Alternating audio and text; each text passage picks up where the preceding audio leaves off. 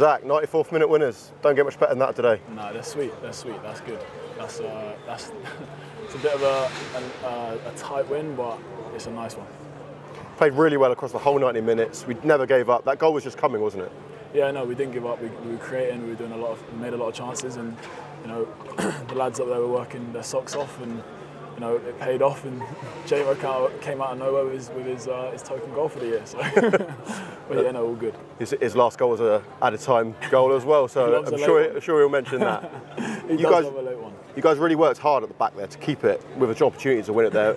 How good were the other defenders today? For sure. No, the lads we stuck together. You know, we, we showed resilience, and they're they're a tough side to come you know come and play against, especially here in this atmosphere. And they're, one of their strengths obviously is set pieces, and, and I felt like we dealt with them quite well. Uh, Corns made a great block towards the end there.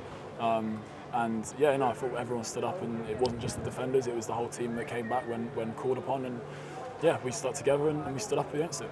A brilliant block you mentioned there.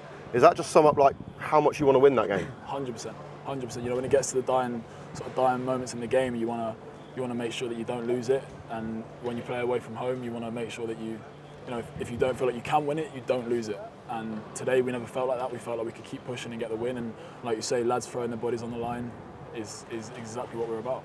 You mentioned it earlier, a tough place to go notoriously, but you guys didn't let it phase you at all. No, no. We uh, obviously we, we wanted to pay our respects at the beginning of the game, and, and then after that we wanted to focus on the match and, and make sure that the sort of the respect for them isn't there, and, and, and we showed we showed that, and I felt like we you know we rode the wave. They, they got up, and the atmosphere was there, but we rode the wave well, and, and we came off the better side of it. The goal goes in, the away end goes mad. Can you sum up that, that split second feeling? How's it, do you know what to do then? Not really. I was on the floor. I'll be honest. I didn't see Jabo actually put it in, but I, uh, I got up. I saw him wheeling off, and uh, yeah, I looked up, and I luckily I saw my dad literally right at the front. So I was celebrating with him and all the rest of the City fans, and it was it was a great moment. And you can't really sum them, them moments up. To be honest with you, it's just a it's just a feeling of joy and pure passion, really. And and uh, yeah, we, were all celebrating together, jumping on each other, and it was great.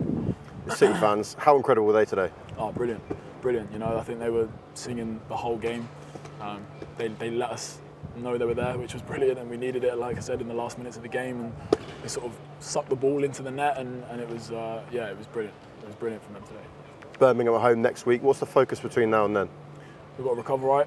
We've got to make sure that we go again, and we've got we haven't got a midweek game, which is uh, you know which is time to put it, you know, get the detail in for Birmingham. And, and like you said, it's gonna well, it's gonna be a tough game, and we've got to go again.